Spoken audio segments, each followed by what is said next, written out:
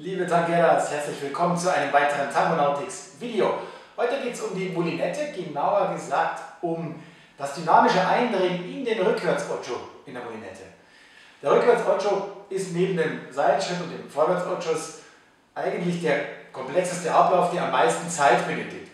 Und wenn wir hier diese dynamische Eindrehung nicht beherrschen, verlieren wir relativ viel Zeit und wir können uns auch nicht optimal unserem führenden Partner zuwenden.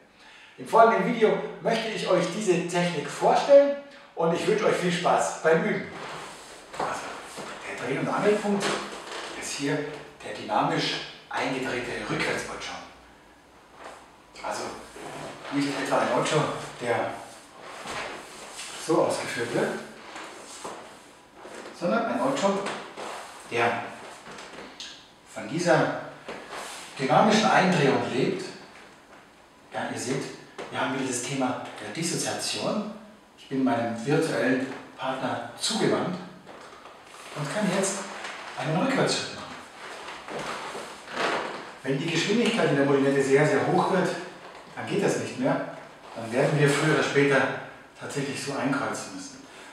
Aber in den meisten Fällen ist beim Tango de Salon die Geschwindigkeit, wenn der Mann es nicht allzu schnell oder verdoppelt führt, ist durchaus möglich, einen tatsächlich schönen Rückwärts-Ocho in der Molinette zu generieren.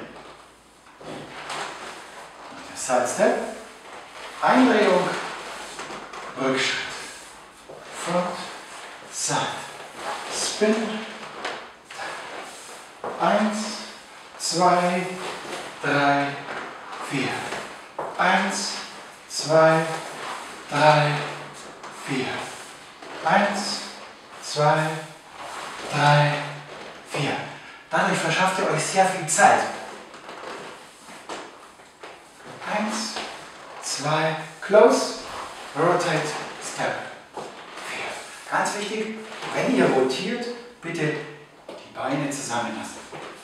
Eins, zwei, close, spin und step. Vier. Gerade drehen, Kopf nicht nach vorne bringen.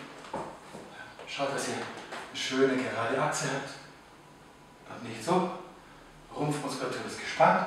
Ihr dreht wie gehabt auf dem Ballen eures Fußes. Eins und zwei und drei und vier und eins und zwei